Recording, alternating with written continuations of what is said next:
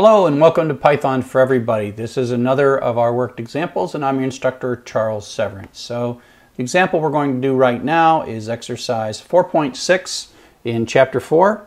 Uh, this is an exercise where we're kind of taking code that we've already written and um, redoing it in a way to uh, just prove that we can do it with a function. So it's not like it's going to do anything different. It's going to do exactly the same um, as before and we're just going to do it a different way. So let's go ahead and start up our text editor Atom.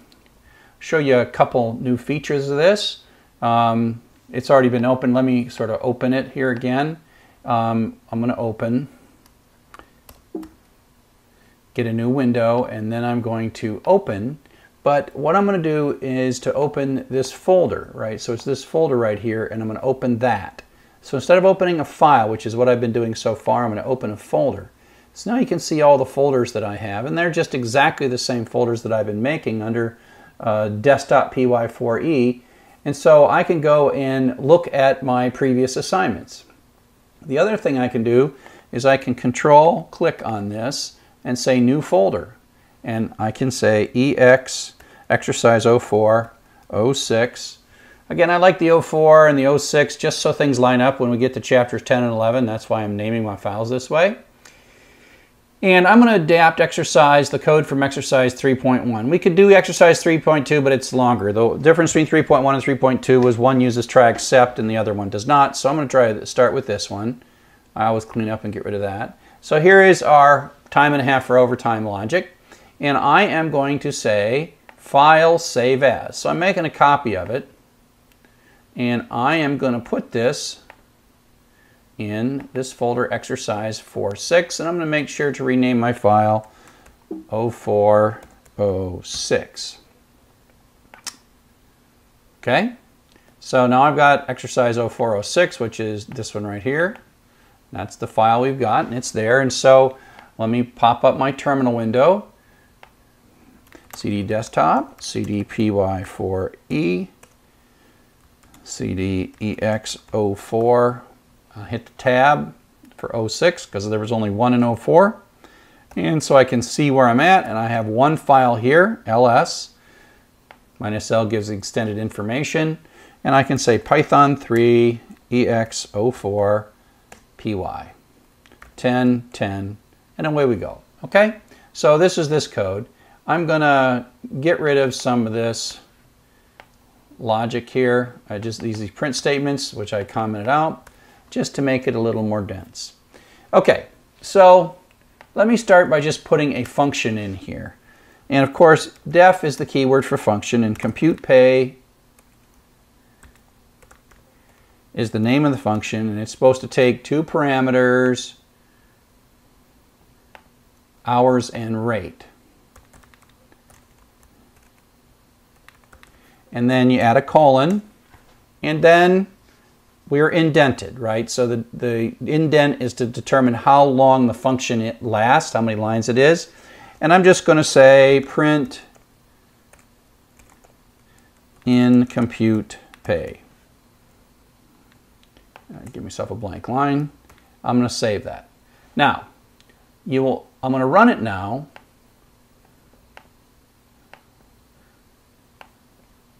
I'm going to run it now and you'll notice something real quick.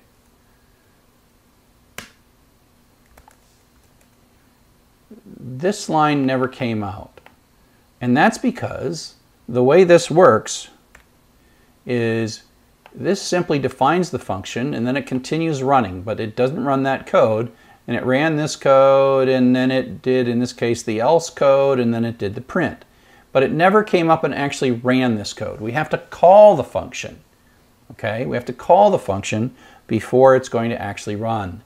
So now let's make a call um, compute pay, and let's pass in our variables that we have in this main code, fh and fr. So the compute pay fh and fr, and then I'm going to print out hours and rate.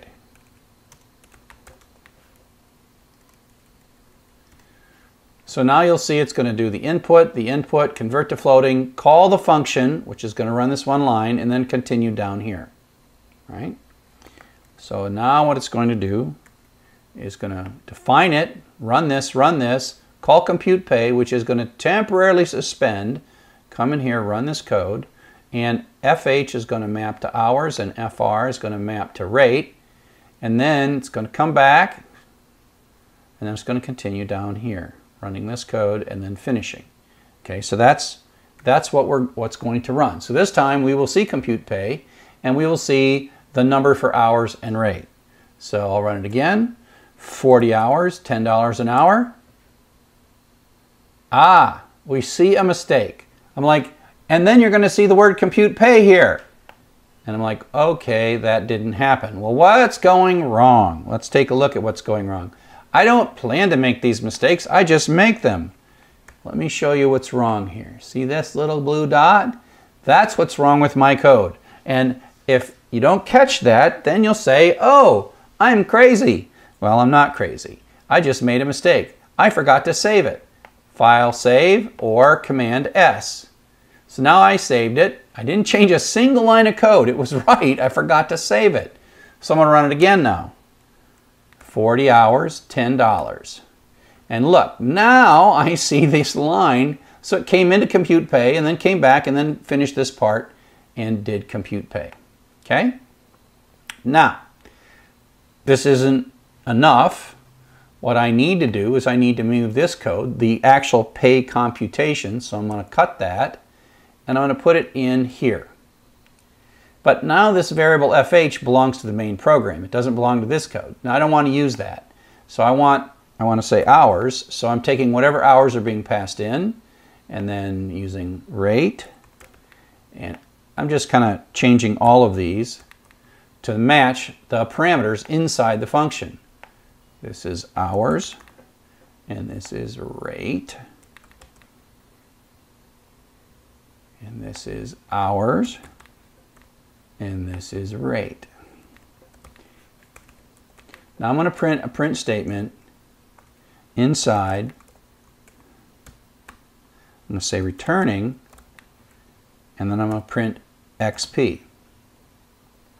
And then, still inside the function, I want to return a value from this function. So I'm saying the returned value for this function is actually in the current function variable xp.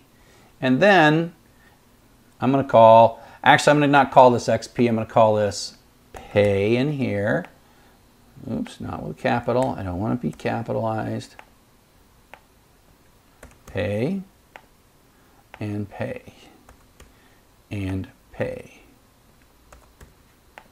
So it's, it's returning pay, and then in here I'm going to say XP equals compute pay.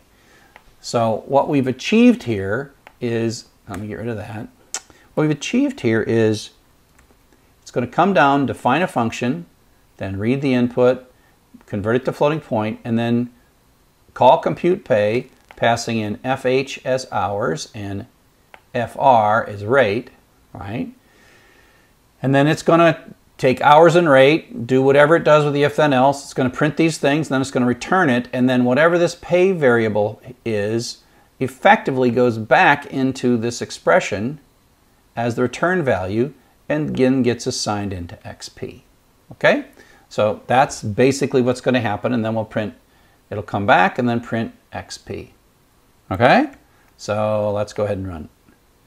Oh wait, I almost did it again. Look at the little blue dot. You guys can watch the blue dot. And when I forget to save it, and when I then run it, it'll blow up. So $10 an hour, oops, 10 hours, uh, $15 an hour. So now it worked. So you can see these two print statements come from while this is running. The input happens, it calls the function, and then it prints out the pay. And now to finish this, to get it right, I will simply comment out my little helpful debugging print statements and run it one more time, uh, 40 hours, $10 an hour, and run it again and have it be $50 an hour and 50 hours and $10 an hour, so 500, 550. So that one is now working. So that's that one is completed and we have moved our computation inside of the function. So I hope that you find this useful. I hope that you find this entire course useful, and, uh, and thanks for watching.